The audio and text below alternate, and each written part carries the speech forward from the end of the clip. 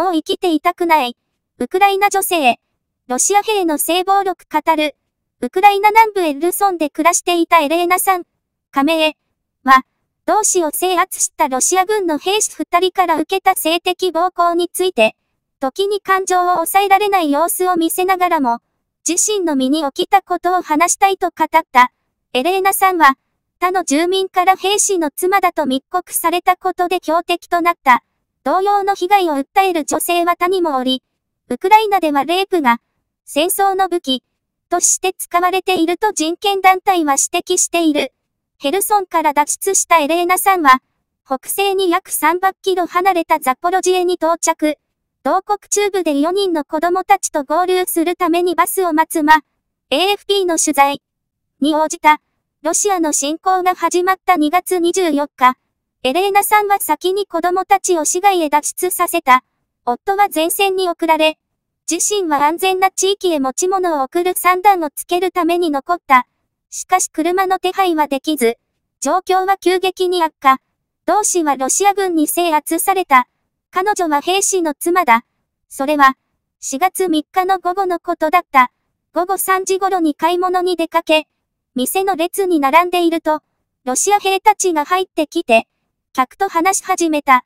会話は聞き取れなかったが、男性客に指をさされて、彼女はバンデラ主義者だ、と言われているのに気づいた。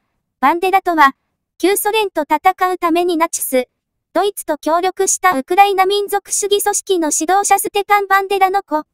と、バンデラ主義者、という言葉は、ロシア当局が民族主義的な考えを持っているとするウクライナ当局者を蔑む際にしばしば使われる。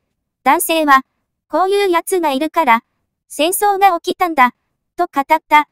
彼女は兵士の妻だ。兵士らが自分の方を見ていることに気づき、すぐに店を出たが、帰宅すると二人の兵士が家に入り込んできた。助けを呼ぶために電話を取り出す余裕もなく、何もできなかった。彼らは無言で私をベッドに押し倒した。ライフルで押さえつけられ、服を脱がされた。エレーナさんはそう語ると、涙を流した。彼らはほとんど話さなかった。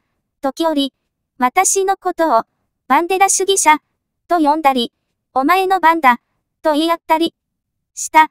午前4時になると、ロシア兵たちは当直の時間が来たため帰って行った。エレーナさんはこの辛い出来事を、医師やセラピスト、夫にすら打ち明けていない。職業が助産したため、手当は自分でしたという。目的地に着いたら、必要なものはすべて見つける。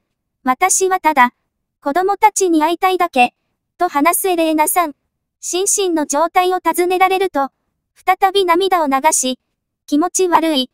とても、気持ち悪い。もう生きていたくない。と語った。7件の被害報告。エレーナさんの他にも被害は報告されている。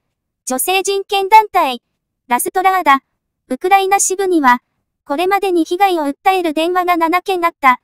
しかし同団体は、最初のショックが収まること。で、今後被害を訴える女性や少女が増える可能性を指摘。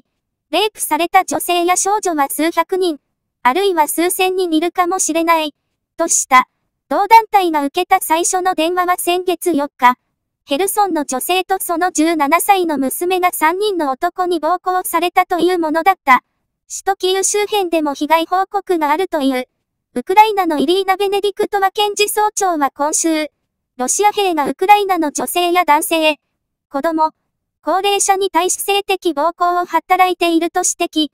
しかし戦時下では、通信や電力供給が不安定なため、証拠集めが難しいと説明した。エレーナさんは、ロシア軍が制圧している地域が奪還されれば、ウクライナ軍が、復讐、復讐、をするだろう、という。私は、自分の密告した人たちを告発する。誰がやったのかを、夫に知らせる。